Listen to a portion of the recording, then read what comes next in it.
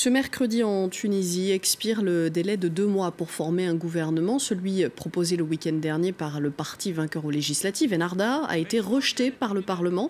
C'est désormais au président Kaïs Sayed de désigner un Premier ministre, un président qui n'est pas, je vous le rappelle, issu d'un parti politique. Cet embroglio politique coïncide avec le 9e anniversaire de la révolution, de la fuite du président Ben Ali. On en parle avec le politologue Vincent Gesser. Merci d'être l'invité de France 24. Vous êtes chargé de recherche au CNRS, spécialiste de la Tunisie. Alors dites-nous pourquoi Enarda a échoué à proposer un gouvernement et pouvait-il réussir?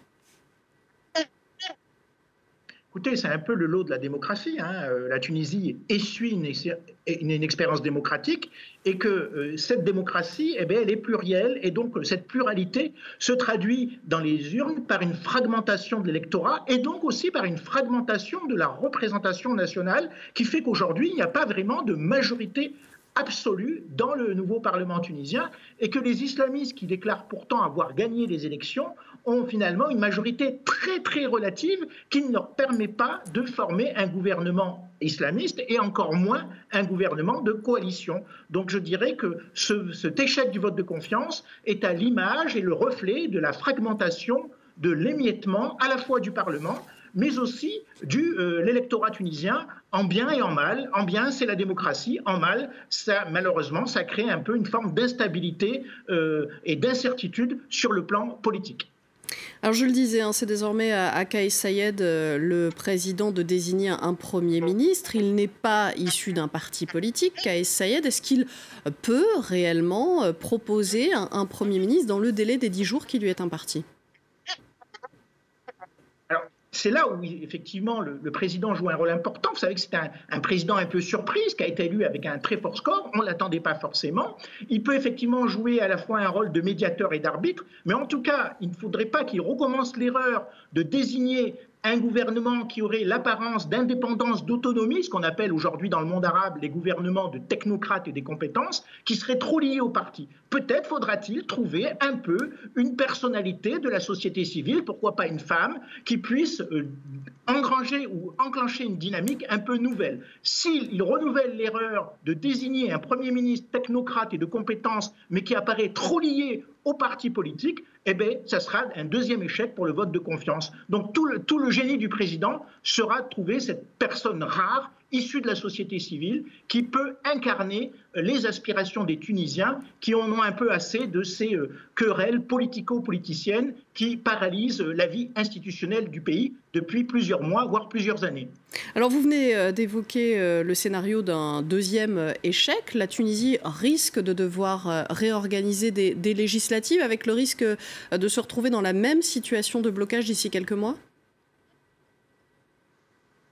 Oui, mais bon, je dirais que c'est aussi, comme je dis, le lot d'une jeune démocratie. Là, en tout cas, ça peut peut-être obliger les partis politiques à réfléchir à des listes plus, euh, qui incluent davantage des citoyens et aussi des membres de la société civile, parce que l'un des gros échecs des partis politiques est plutôt, c'est une forme d'autisme, de ne pas avoir compris le ras-le-bol des citoyens à l'égard de cette classe politique et surtout de ce qu'on pourrait appeler des dérives affairistes. Le, un des paradoxes de cette révolution, c'est que les milieux d'affaires n'ont jamais été aussi influents dans les milieux politiques tunisiens. Donc on pensait que c'était la période Ben Ali qui caractérisait la collusion entre le milieu d'affaires et les milieux politiques. Finalement, l'après-révolution a encore renforcé ces tendances de transaction et de collusion entre les milieux économiques et les milieux politiques. Les citoyens attendent autre chose et il faudra que les forces politiques prennent acte de ces attentes, de ces aspirations pour renouveler la formation des listes et surtout en faisant monter une nouvelle génération de politiques, des gens issus d'une nouvelle génération, des jeunes et aussi des femmes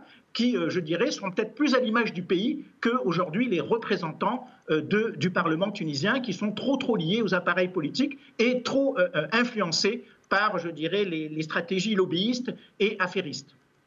Euh, rapidement, euh, le ras-le-bol euh, dont vous parlez, il s'est exprimé dans les urnes lors de ces législatives, puisqu'avec seulement 41% de participation, c'était l'une des élections les, moins suivies, les moins, où, les, Tunisiens ont le moins participé. Ce que vous nous dites, c'est que c'est l'occasion, alors que les dernières élections se sont tenues en même temps que la présidentielle, de manière un petit peu bousculée, avec un agenda bousculé, c'est peut-être l'occasion de, remettre le processus en branle à plat? Si vous voulez, on était parti au départ sur un, scénario un peu catastrophique, c'est-à-dire qu'avec des taux d'abstention qui étaient annoncés record. Mais ce qui a un peu changé la donne, faut-il l'avouer, c'est l'élection présidentielle qui a redonné un peu un espoir. Vous savez, ces présidents, c'était un homme, je, ne dis pas c'est ce qu'il est réellement, mais il renvoyait une image d'homme ordinaire, d'ordinarité, de simplicité. Finalement, les gens se sont quand même assez mobilisés pour l'élire, puisqu'il a été très bien élu à plus de 70%.